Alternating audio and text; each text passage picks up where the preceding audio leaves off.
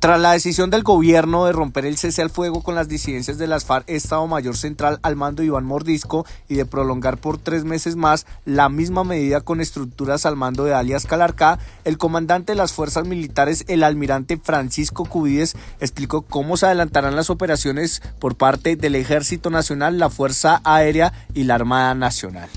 Así las cosas, iniciaremos las operaciones con todo rigor para desarticular esas estructuras delictivas de los frentes que está liderando Iván Mordisco y los bloques. A través de un trabajo muy articulado con la Policía Nacional, la Fiscalía, todo con miras a, garantizar, insisto, la seguridad de los colombianos para que todo ciudadano pueda hacer su vida cotidiana en medio de la paz.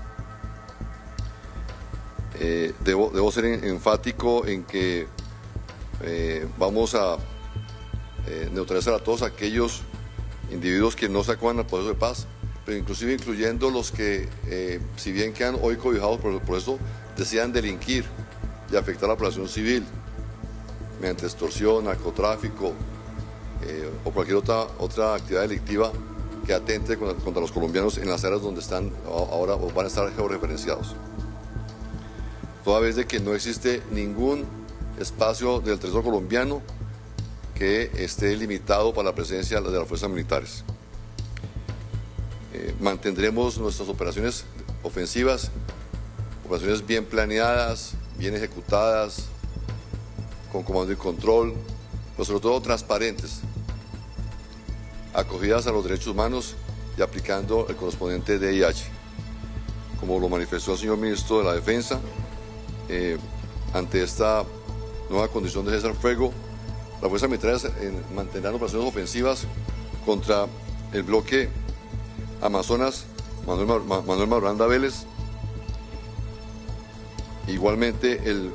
Comando Conjunto Oriente Martín Villa, el bloque central Isaías Pardo y el bloque occidental Jacob Arenas al mando de Iván Mordisco. En ese sentido, insisto, las fuerzas militares estaremos trabajando siempre operando a favor de, la, de los colombianos. Eh, si bien estábamos en una condición de no adelantar operaciones ofensivas, pues conocemos su ubicación y mantenemos inteligencia suficiente para, eh, desde ese momento, eh, adelantar operaciones ofensivas en contra de todas las estructuras ya mencionadas acá, de los bloques también que ya aquí se han mencionado. Ahí es importante mencionar pues, que el actuar nuestro va a ser inmediato, a nivel nacional en las áreas donde hacían injerencia y presencia delictiva de estos grupos. Son más de 4.400 hombres del Estado Mayor Central de las disidencias de las FARC entre integrantes y redes de apoyo. Alias Calarcá tiene a su mando más de 1.760 hombres que estarían en cese al fuego por tres meses con el gobierno nacional, mientras que alias Iván Mordisco tiene a su mando más de 2.640 hombres.